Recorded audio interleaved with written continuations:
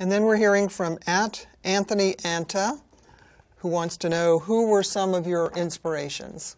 Oh, well, basically, uh, I think most people know.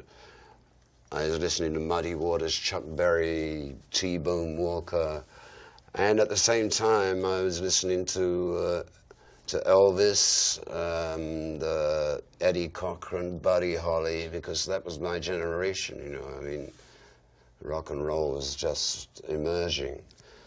And it really wasn't that different from jump blues as far as a musician's concerned. So then I wanted to know where that music came from. So I followed it to Muddy Waters and then to Robert Johnson. And, uh, uh, you know, I always wanted to know where music came from if I liked a piece. So, you know, I would like track it down.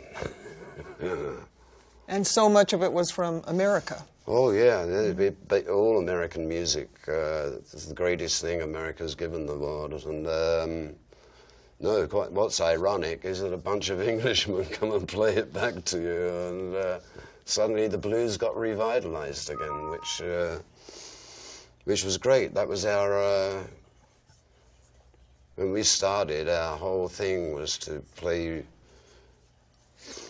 the rhythm and blues and uh, to turn America back onto its own music, because, uh, yeah, and not let alone play with some of the greats. I mean, Muddy Waters is an actual friend of mine, you know. I mean, that's kind of stuff out of fairy books. I mean, Exactly.